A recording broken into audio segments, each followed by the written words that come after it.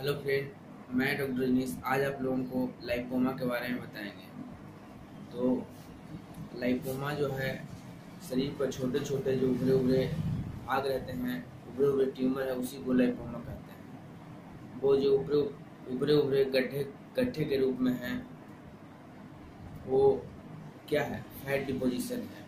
Fat का वहाँ पर डिपोजिट होता है, इसलिए वहाँ पर उभरे उभरे रहते हैं। उसी को लाइपोमा बोलते हैं। लाइपोमा इतना जान जाए कि लाइपोमा जो है, वो शरीर के किसी भी भाग पर हो सकता है। किसी किसी को शरीर में होल बॉडी में रहता है किसी किसी को हाथ पर है किसी किसी को गर्दन पर है किसी किसी को पीठ पर है। ऐसा देखने को मिलता है लाइपोमा तो लाइपोमा आज जब वो गड्ढे जो हैं, हिल डोल रहे हैं तो उसे बेनाइल ट्यूमर कहा जाता है। मोटा मोटी बस आप इसे जान जाए। अगर वो गड्ढे ट्यूमर जो है, अगर हिल डुल नहीं रहा है तो उसे कैंसरस ट्यूमर कहा जाता है। लेकिन लाइपोमा के केस में एक कैंसर का शिकायत कम ही देखा गया है। तो आज हम आप लोगों को लाइपोमा का होम्योपैथिक मेडिसिन आपको हम बताएँगे, जो बहुत ही बेहतर काम करती है। होम्योपैथिक मेडिसिन लाइपोमा कैसे तो लाइपोमा को तो आप जान गए शरीर पर छोटे छोटे उभरे ट्यूमर होता है, उसी को लाइपोमा कहते हैं। इतना जान जाए वो फैट डिपोजिशन है। मतलब फैट का जहाँ पर डिपोजिट हो जाता है, उसी को हम लाइपोमा कहते हैं। और वो ट्यूमर जो है, दो टाइप का होता है जैसे पेनाइल ट्यूमर और कार्सिनोसिन ट्यूमर तो पेनाइल ट्यूमर जो होता है, वो हिलता डुलता है, और कार्सिनोसिन है जो एकदम बस चिपका होता है। तो अब ये ट्यूमर है, अगर ये ट्यूमर बड़ा हो जाता है तो नस नीचे दबता है और दब जा कर के उसके बाद पेन होता है।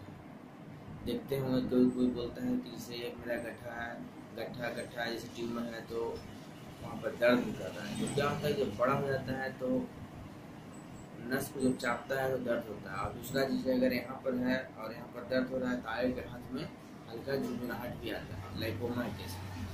तो लाइकोमा का होम्योपैथिक मेडिसिन बता रहा है, जो बहुत ही बेहतरीन है। अगर ऐसा सिम्टम मिलता है तो आप उस दवा को जाकर खरीद कर खा सकते हैं और नहीं तो जो नज़दीक के जो फिजिशियन है, जानकार है, उनसे सलाह भी ले सकते हैं कि ये दवा हम यूज़ कर रहे हैं, कैसा है। तो लाइकोमा में कुछ नहीं। फास्टली तो आप थूजा उबाने में लें। थूजा उबाने में जो मेडिसिन है, वो सात दिन पर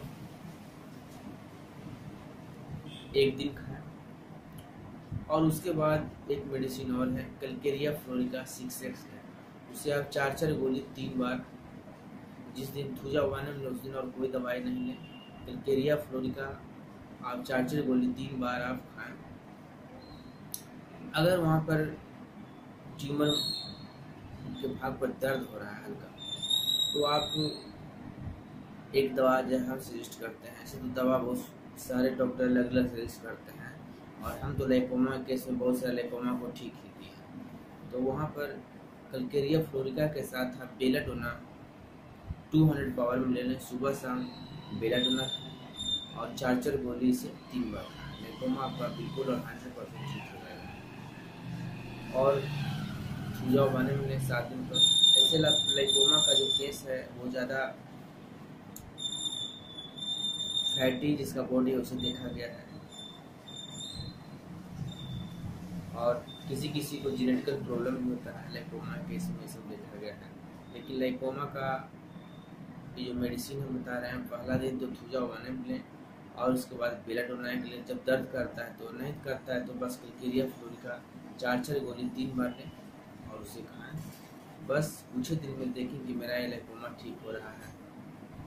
तो बस दवा को आप लेकर आगे भी खाते रहें। और अगर नज़दीकी कोई और फिजिशियन है होम्योपैथ में तो उनसे भी जाकर के इस दवाई पर आप सलाह ले सकते हैं। लेकिन लाइकोमा जो है, हम इस वीडियो के माध्यम से कहना चाह रहे हैं। लाइकोमा जो हल्कल के छोटे छोटे पूरे शरीर पर उभरे हुए ट्यूमर होते हैं, वो हम उसका होम्योपैथिक में बहुत ही बेहतर मेडिसिन है। और उस मेडिसिन का नाम, एक मेडिसिन का नाम आप जान जाए क्रिकेरिया फ्लोर अब जब पेन हो रहा है तो बेलेडोना के साथ लेकिन फ़र्स्ट डे दवा शुरुआत करने के पहले एक खुराक थूजा उगाने ज़रूर करें और उसके बाद से अगले दिन से दवा शुरू करें। लाइपोमा को बिल्कुल और हंड्रेड परसेंट ठीक जाएगी तो मेरा ये वीडियो अच्छा लगे तो लाइक सब्सक्राइब एंड शेयर करना ना भूलिएगा। आगे भी हम इस तरह का वीडियो में बताते रहेंगे कि एक केस में, एक केस में होम्योपैथिक मेडिसिन है जो हंड्रेड परसेंट काम